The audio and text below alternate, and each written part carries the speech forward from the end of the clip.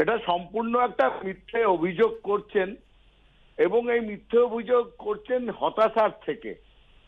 এবং হতাশার সঙ্গে ওনার পূর্ব নিজের যে অভিজ্ঞতা, সেইটাকে মিলিয়েছেন হতাশার সঙ্গে।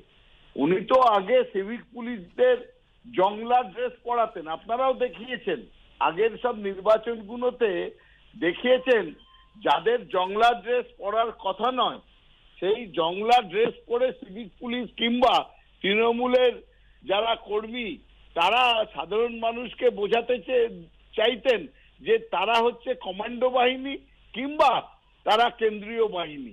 এটা যেহেতু গত দশ বারো বছর ধরে তৃণমূল কংগ্রেস করে আসছে, সেইটার সঙ্গে এখন নিজের হতাশাটা মিলে এই মিথ্যে অভিযোগ তিনি করেছেন।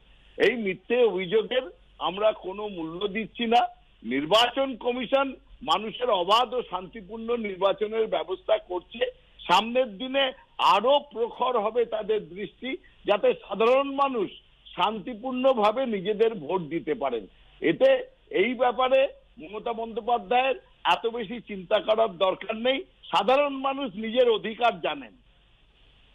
অনেক ধন্যবাদ জয়প্রকাশ বাবু টুইট করেছেন বিজেপির সর্বভারতীয় সভাপতি জেপি নাড্ডাও। তিনি লেখেন, নিমতাল বৃদ্ধা মা শোভা মজুমদারের আত্মার শান্তি কামনা করি।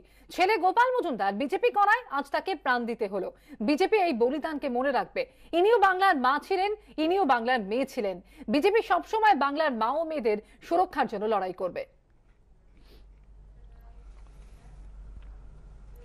নিমতা বিজেপি কর্মীর মায়ের মৃত্যুতে টুইট করেন ডেরেক ওব্রায়ন তৃণমূল সাংসদ লেখেন, প্রতিটি মৃত্যুই দুঃখজনক।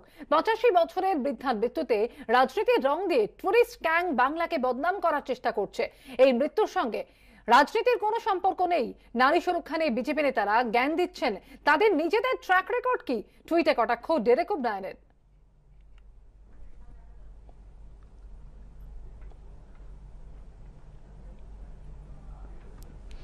পয়লা এপ্রিল রাজ্যের হাই ভোল্টেজ কেন্দ্র নন্দীগ্রামে ভোট। কালই শেষ হচ্ছে তার প্রচার। তার আগে আজ নন্দীগ্রামে রোড শো এবং তিনটি জনসভা মমতা বন্দ্যোপাধ্যায়।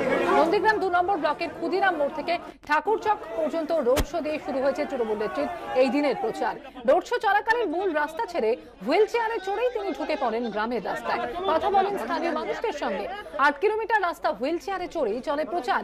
এরপর ঠাকুরচকে পৌঁছে প্রথম জনসভা করেন মমতা বন্দ্যোপাধ্যায়। তৃণমূল নেত্রীর দ্বিতীয় এবং তৃতীয় জনসভা রয়েছে বয়াল এবং আমদাবাদে। তাদের সঙ্গে এবং মুখ্যমন্ত্রী যে পায়ে চোট সেটাও কিন্তু তিনি বলছেন। অধিকারী